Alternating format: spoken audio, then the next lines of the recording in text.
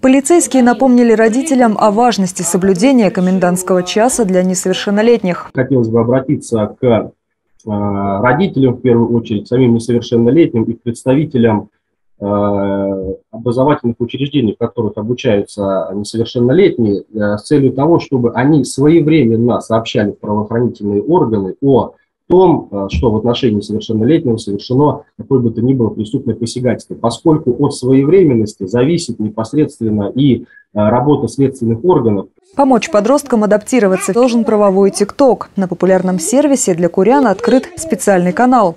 Здесь простым языком сверстники и эксперты расскажут о правовых актах, правилах безопасного поведения в той или иной ситуации. Я так думаю, что если дети наши там в основном бывают очень часто, то, наверное, и нам с вами тоже на, надо быть там почаще.